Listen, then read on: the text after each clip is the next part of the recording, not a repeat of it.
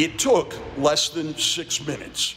Six minutes from the time that Joe Reynolds left a family dinner at a Silver Spring restaurant until his sister in law found him bleeding to death here in the stairwell of the Wayne Avenue garage. He had dumped the leftovers in the car and was on his way back to meet his family at the ice cream shop.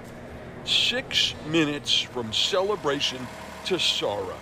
That was four days before Christmas, and five months later, investigators still have no idea who killed him. Whatever happened, happened in a moment. Karis Hastings was hesitant to talk to the media. I hope that um, whoever did it, you know, is sorry about what happened, maybe didn't mean for it to happen. I would just want that person to never do it again and never have another family go through what my family has gone through.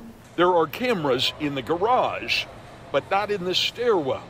They found witnesses who heard the shot, but no one who saw the shooter running away on foot or speeding away in a car. We're really at our wits' end in this particular incident because it is, um, it doesn't make sense to us. Reynolds was an electrical engineer with three daughters who retired from the federal government and went to work for a high tech lab in national security.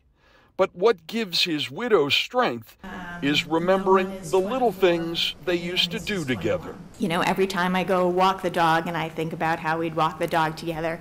Um, we used to play pickleball almost every day when the weather was nice. There's a small shrine here where Joe Reynolds died. Detectives are desperate for tips, even anonymous tips to crime solvers. 866 411 TIPS. In Silver Spring, Bruce Leshan, WUSA 9. Yeah, you never want to hear police say they're at wit's end when it comes to an investigation like this. So yeah. if you know anything, please do come forward.